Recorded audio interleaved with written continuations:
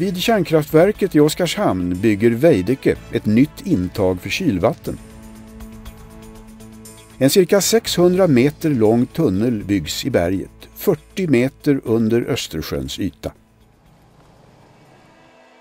Syftet med tunneln är att leda in kallare kylvatten från 25 meters djup. På det sättet kommer även temperaturen att sänkas på det utgående kylvattnet från kärnkraftverket. Något som väsentligt minskar anläggningens miljöpåverkan.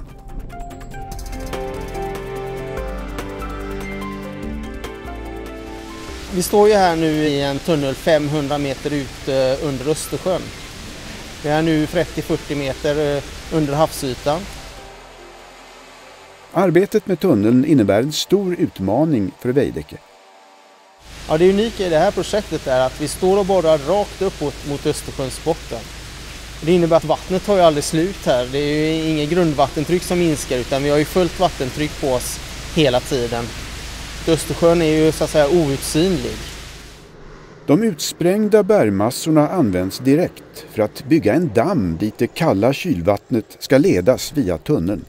Det här ger många miljömässiga fördelar även under byggtiden. Det ursprungliga förslaget var ju att man kör iväg det fyra kilometer härifrån till en tipp.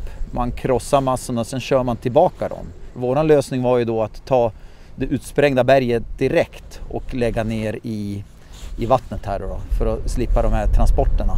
Och då vinner man ju både utsläppen och eh, även då de ekonomiska fördelarna som man då har med det. Och det är väl egentligen det vi, vi vann det här eh, projektet på.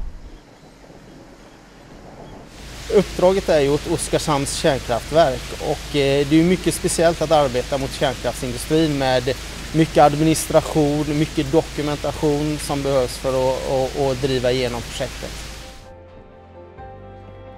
Projektet är en totalentreprenad. Det innebär att det är upp till entreprenören att finna de mest kostnadseffektiva och miljövänliga lösningarna. Ett arbete som pågår under hela projekttiden. Jag tycker samarbetet har fungerat väldigt bra och framförallt så, så är de ju väldigt glada över våra idéer också och just den här friheten att vi kan, vi kan faktiskt eh, påverka den här projekteringen helt själva. Det ligger i våra egna händer. Projektet innebär inte bara arbeten med själva tunneln.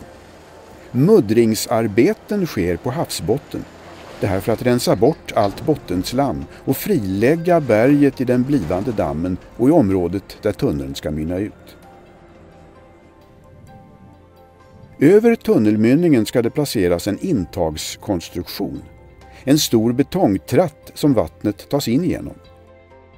Den 500 ton tunga konstruktionen formsätts och gjuts färdig inne på land.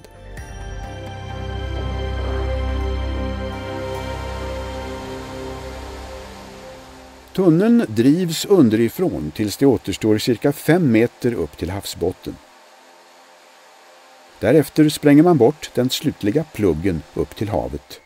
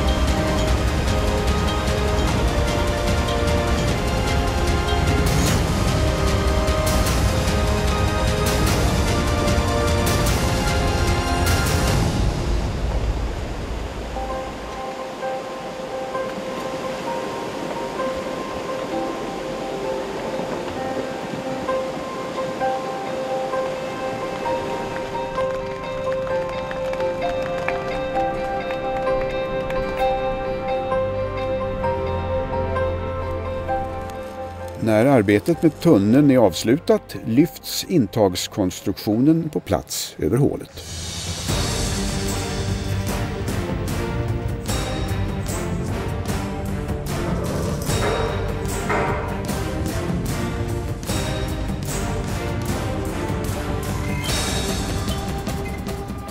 Det som händer idag är att vi eh, lyfter fram och lyfter ut och sänker ned den här intagskonstruktionen som den heter på arbetsplatsen. Det absolut svåraste här är att samordna på, eh, på en viss tid alla dessa olika underentreprenörer som vi har. Det är dykare, det är eh, sjökranar, det är mobilkranar, det är svetsare. Det är en mängd olika aktörer som ska göra en uppgift på en begränsad tid.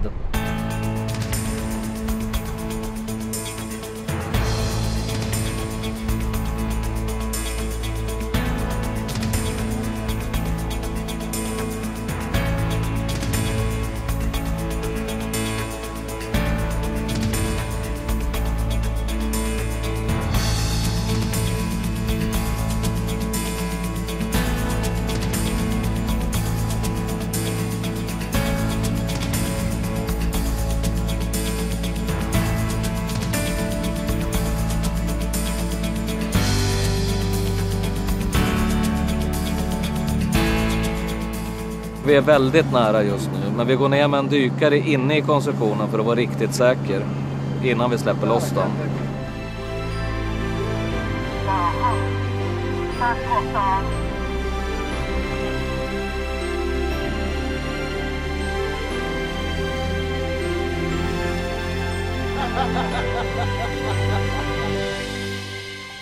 Det roliga i det här projektet är att vi är ett ganska litet projekt som innehåller väldigt många anläggningsmoment. Vi har tunneldrivning, vi har stor betongbyggnad, vi har dammar som vi bygger.